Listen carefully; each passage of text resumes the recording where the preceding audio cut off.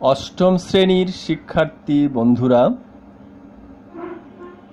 আজকে সায়াবিতি সোসাইটি উচ্চ বিদ্যালয়ের অনলাইন ক্লাসের পক্ষ থেকে আমি মোহাম্মদ নাজমুল করিম গণিত বিষয়ের একাদশ অধ্যায় থেকে একটি সৃজনশীল অঙ্ক উপস্থাপন করব। আশা করি তোমরা মনোযোগ সহকারে তা আত্মস্থ করবে। শিক্ষার্থী বন্ধুরা, কেমন আছো তোমরা? আমি আশা করছি তোমরা এ করুণার মধ্য দিয়েও ভালো আছো। আমিও তোমাদের দোয়ায় ভালো আছি। শিক্ষার্থী বন্ধুরা আজকে আমি যে সৃজনশীল অঙ্কটি তোমাদের উদ্দেশ্যে উপস্থাপন করব, তার উদ্দীপকটি নিম্নরূপ। অষ্টম শ্রেণির পঞ্চাশ জন শিক্ষার্থীর গণিত বিষয়ে প্রাপ্ত নম্বরের গণসংখ্যা নিবেশন সারণী নিম্নরূপ। প্রাপ্ত নম্বর একত্রিশ থেকে চল্লিশ নম্বর পেয়েছে ছয়জন, একচল্লিশ থেকে পঞ্চাশের মধ্যে নম্বর পেয়েছে আটজন একান্ন থেকে ষাটের মধ্যে পেয়েছে তেরো জন, একষট্টি থেকে সত্তরের মধ্যে পেয়েছে দশজন একাত্তর থেকে আশির মধ্যে পেয়েছে আটজন একাশি থেকে নব্বইয়ের মধ্যে নম্বর পেয়েছে পাঁচজন এই উদ্দীপকের আলোকে নিম্নে আমরা তিনটি প্রশ্ন করেছি। প্রথম প্রশ্নটি হল, ক্রমযোজিত গণসংখ্যা সারণী তৈরি করো। খ, প্রাপ্ত নম্বরের গড় নির্ণয় করো। পূর্ববর্তী ক্লাসে আমি গড় সম্পর্কে একটা অঙ্ক করেছি। গ, প্রদত্ত উপাত্তের আয়তলেখ অঙ্কন করো।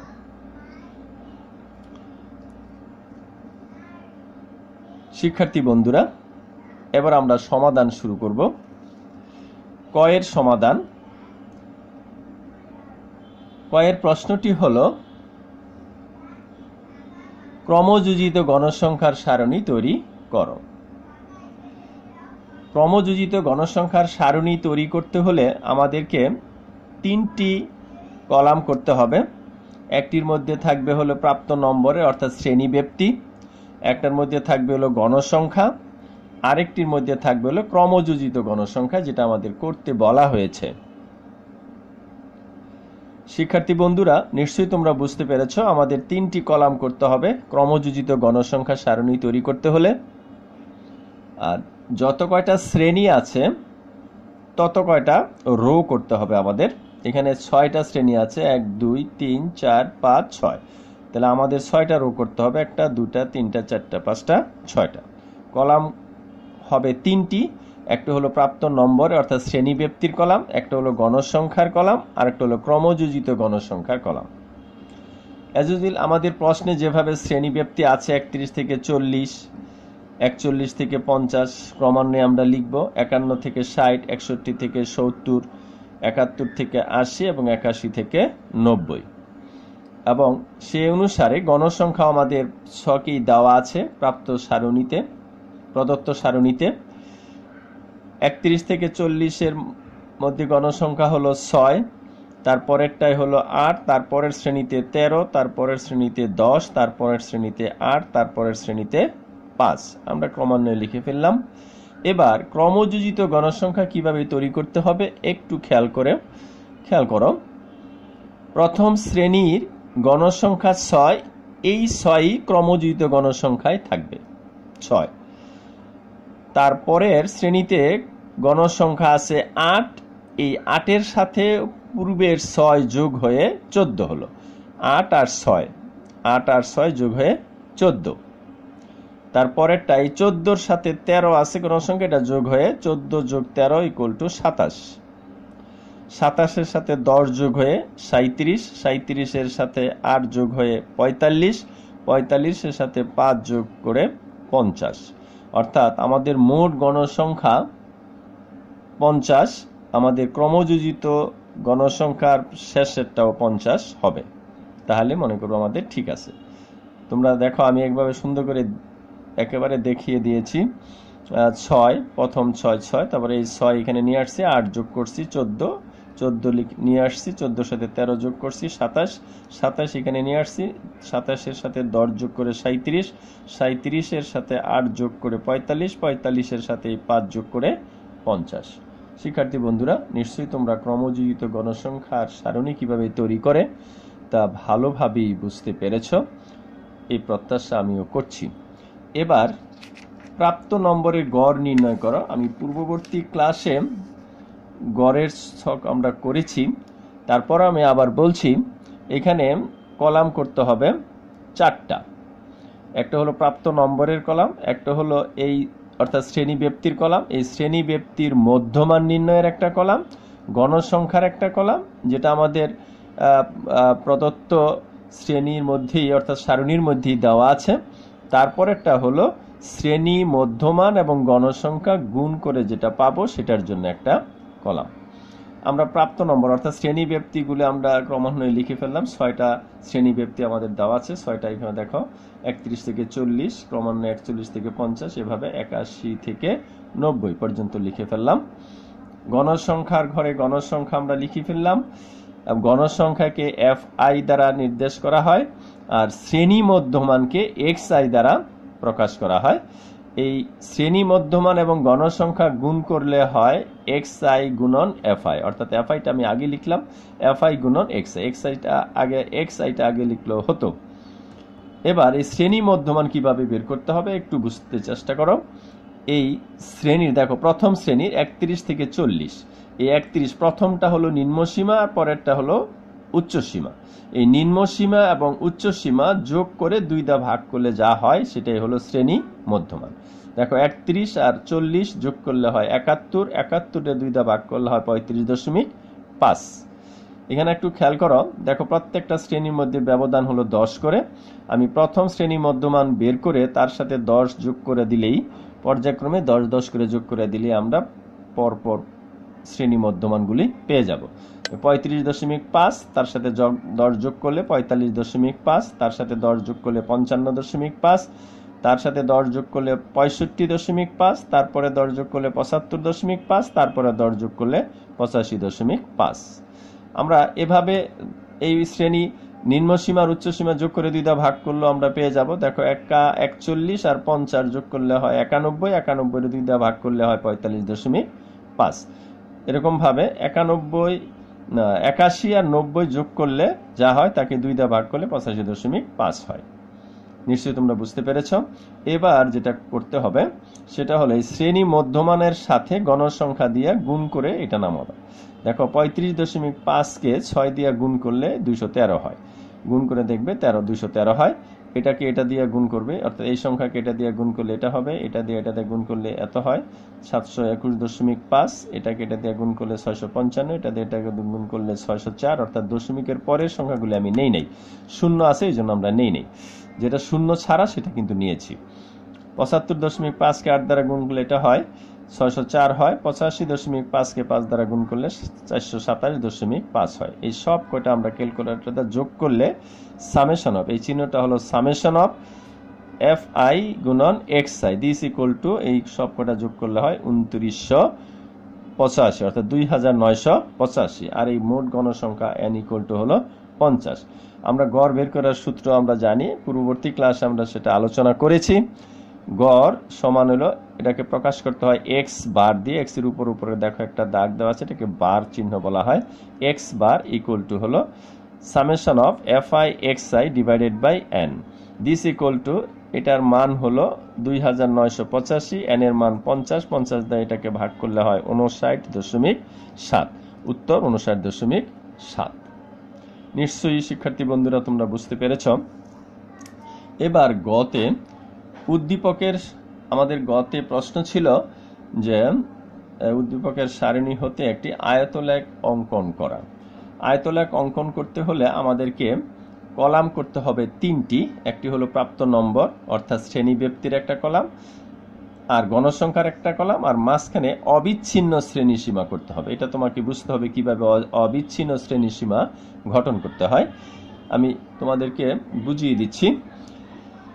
এটা আগে আমরা যা যেভাবে লিখেছি, সেভাবে আমরা এখানেও লিখেছি গণসংখ্যা ঠিক যার যার শ্রেণীতে যত গণসংখ্যা আছে তা লিখেছি।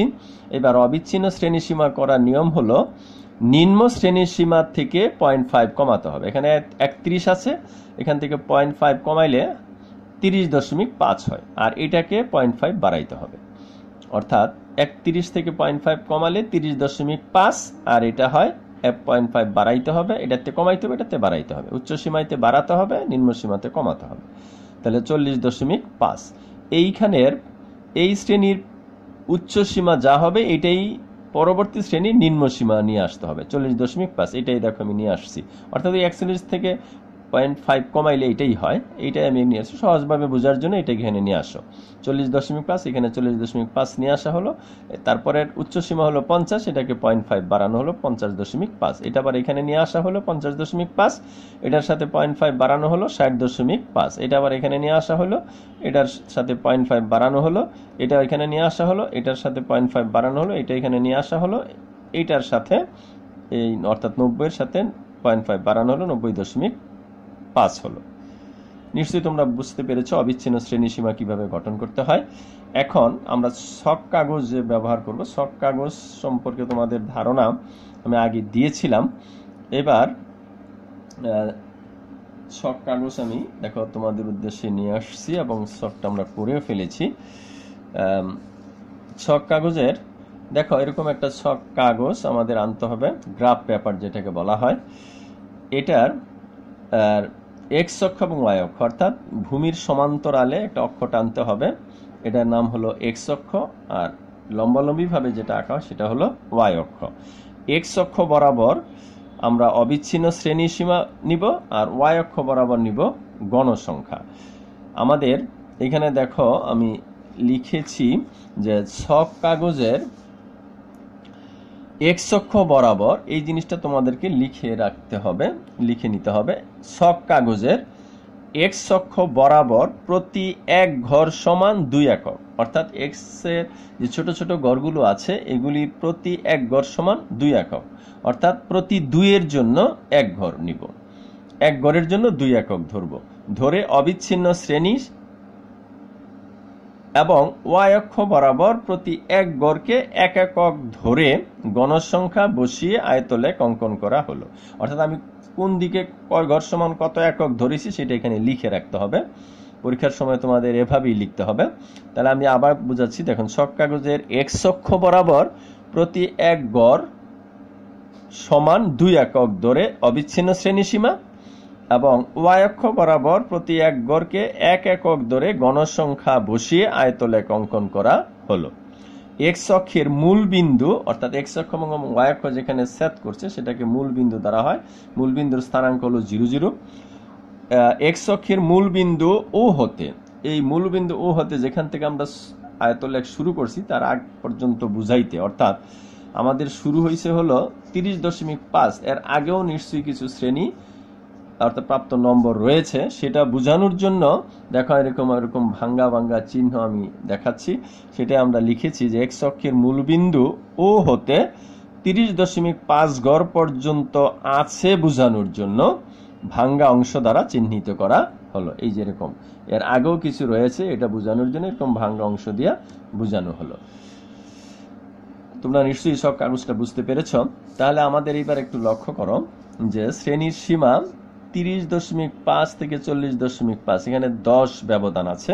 তাহলে এক গড় সমান আমি এক অক্ষ বরাবর দুই একক ধরছি, দুই একক। তাহলে দশের জন্য এখানে দশ, ডিফারেন্সটা হলো দশ। তাহলে দশের জন্য কয় ঘর পাবে? পাঁচ ঘর দেখো, তিরিশ দশমিক পাঁচ থেকে, তিরিশ দশমিক পাঁচ থেকে চল্লিশ দশমিক পাঁচ, এখানে দশ ডিফারেন্স প্রতি একের জন্য দশ ডিফারেন্স প্রতি দুই একক, অর্থাৎ দুইয়ের জন্য এক গড়, অর্থাৎ এক গড়ের জন্য দুই। তাহলে এখানে আছে দশ, তাহলে দশের অর্ধেক হলো পাঁচ, তাহলে দুইয়ের জন্য এক গড় হলে দশে পাবে হলো পাঁচ গড়। কারণ দশের মধ্যে দুই আছে পাঁচটা, তাহলে গড় পাবে পাঁচটা। তাহলে এখান থেকে দেখো আমি পাঁচ গড় নিয়েছি এবং গণসংখ্যা অর্থাৎ লম্বা লম্ব ওয়াই অক্ষের দিকে প্রতি এক এককের জন্য এক গড় রেখেছি। তাহলে আমাদের গণসংখ্যা আছে হলো ছয়, তাহলে ছয়ের জন্য ছয় গড় পাবে। দেখো, এখান থেকে এই পর্যন্ত পাঁচ গড়, এক গড়, ছয় গড় নিয়েছি। ঠিক অনুরূপভাবে পর প্রত্যেকটাই এখানে দশ ডিফারেন্স এই এক্স বরাবর চল্লিশ দশমিক পাঁচ থেকে পঞ্চাশ দশমিক পাঁচ, এখানে দশ ডিফারেন্স তাহলে এখানেও পাঁচ গড়। প্রত্যেকটাই দশ ডিফারেন্স সুতরাং প্রত্যেকটাই পাঁচ গড় করে পাবে।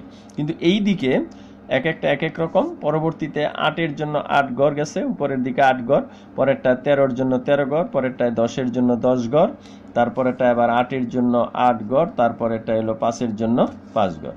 এখন এই গড়গুলি আমরা আয়তলেখ অঙ্কন করে আমরা কালো করেও দিতে পারি, অথবা যেভাবে আছে এরকম আয়তলেখ অঙ্কন করে দিলেও চলে। শিক্ষার্থী বন্ধুরা, নিশ্চয়ই তোমরা সব কাগজ কীভাবে অঙ্কন করতে হয় তোমরা বুঝতে পেরেছ। তাহলে এই সব কাগজ বোঝানোর জন্য আমরা এইভাবে কাগজ আমরা গ্রাফটা অঙ্কন করে আমরা খাতার মধ্যে পিন আপ করে এরকম ভাবে পিন আপ করে যেখানে আমরা যা বুঝেছি সেখানে এরকম পিন আপ করে রেখে দিব। শিক্ষার্থী বন্ধুরা, তোমরা নিশ্চয়ই বুঝতে পেরেছ কীভাবে আয়তলেখ অঙ্কন করতে হয়। আমি পরবর্তী ক্লাসে পাইচিত্র নিয়ে আলোচনা করব। তোমরা ওই পাইচিত্রটা আলোচনা হলেই অষ্টম শ্রেণির যা কোর্স আছে, এই একাদশ অধ্যায় থেকে তোমরা এখান থেকে তোমরা সকল প্রশ্নের উত্তর করতে পারবে। এই প্রত্যাশা রাখছি।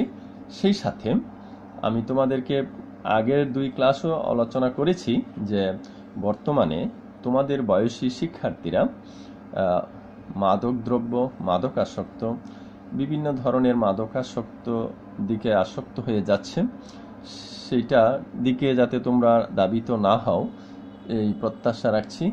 এটা থেকে তোমরা দূরে থাকবে। তোমরা তো নিজেরা থাকবেই। সেই সাথে তোমাদের বন্ধু বান্ধবদেরকেও এই জীবন জীবননাশী এই পথ থেকে তোমরা সরে, দূরে থাকবে। এই প্রত্যাশা রেখে আমি তোমাদের কাছ থেকে আজকের মতো বিদায় নিচ্ছি। আল্লাহ হাফেজ।